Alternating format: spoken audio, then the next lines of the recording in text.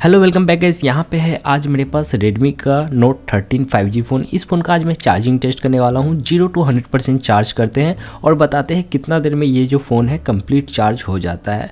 Box के अंदर guys 33 वाट का चार्जिंग एडेप्टर मिलता है और टाइप सी का डाटा केबल है।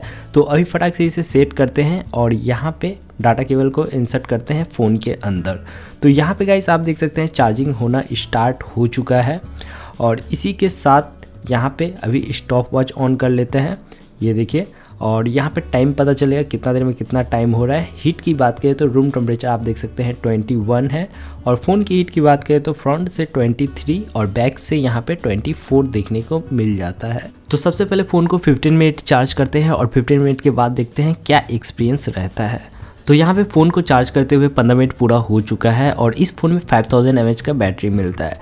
तो सबसे पहले यहाँ पे चेक करते हैं 15 मिनट में यहाँ पे आप देखिए 23 परसेंट चार्ज हो जाता है आप अगर इस फ़ोन को चार्ज करते हैं तो। और हीट गाइस यहाँ पे आप देख सकते हैं रूम टेम्परेचर है 21 और फ़ोन की हीट की बात करें तो यहाँ पे 34 देखने को मिल जाता है।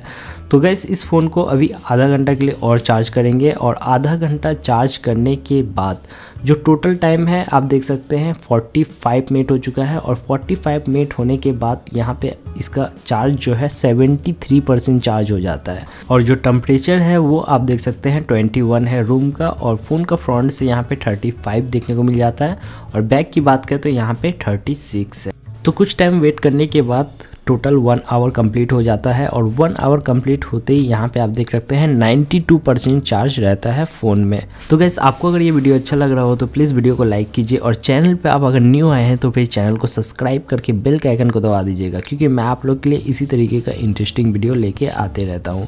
और नाइन्टी चार्ज होते होते जो रूम का टेम्परेचर है ट्वेंटी है, और हीट की बात करें तो फ़ोन का, यहाँ पर आप देख सकते हैं 33 के आसपास आ जाता है मतलब टेम्परेचर 100 परसेंट होते होते आपका लो होते जाएगा ओके फ़ोन को और थोड़ा चार्ज करने के बाद, लगभग 12 मिनट और चार्ज करने के बाद फ़ोन जो है पूरा 100 परसेंट चार्ज हो जाता है। टोटल टाइम आप देख सकते हैं वन आवर 12 मिनट यहाँ पे लगता है इस फ़ोन को चार्ज होने में। बाकी आपके पास अगर ये सेम फ़ोन है कमेंट सेक्शन में ज़रूर बताएँ आपका फ़ोन कितना देर में चार्ज हो रहा है। और ये जो फ़ोन है हंड्रेड परसेंट चार्ज होते होते देख सकते हैं। रूम टेम्परेचर के आसपास आ जाता है थर्टी के आसपास है ओके तो ज़्यादा दोस्तों हीट नहीं होता है और ठंड का मौसम है तो ज़्यादा हीट होगा भी नहीं। गर्मी में दोस्तों आपको 40 तक एवरेज मिल सकता है।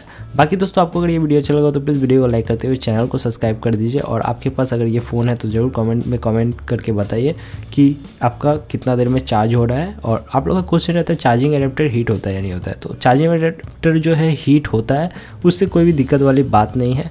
चार्जिंग एडेप्टर डायरेक्ट वोल्ट पाता है, इसलिए हीट होता है। तो गैस आज के लिए बस इतना ही, मिलता है नेक्स्ट वीडियो में। थैंक यू जय हिंद।